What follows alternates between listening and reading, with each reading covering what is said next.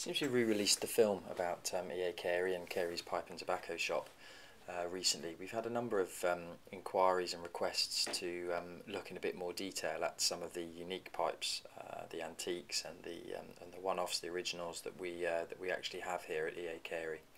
Um, so I thought I'd uh, run a bit of a series uh, of YouTube films looking at um, each in turn.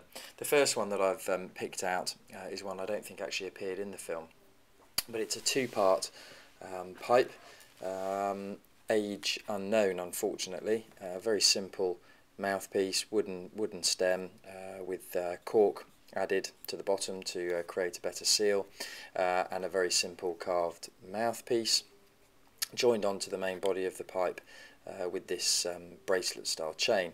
Now the bowl itself is a beautiful um, meerschaum um, unsmoked but um, but showing coloration simply due to age.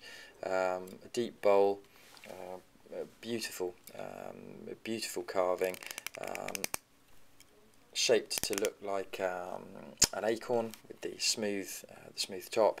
Uh, the carved base of the acorn and then just quite simply beautiful detailing uh, around what what is uh, the branch with these uh, these leaves and I don't know if uh, you can pick it up on this but with uh, real fine detailing um, and the veins of the leaf and so on a really stunning stunning piece. Um, it's quite um, it's quite a good weight for meerschaum. You can feel it's quite um, it's quite solid meerschaum.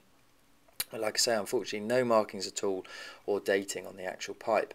Um, the one clue we do have, which is a bit of a giveaway, um, fortunately, is that in the actual um, case, uh, there is a stamp special Barlings London make.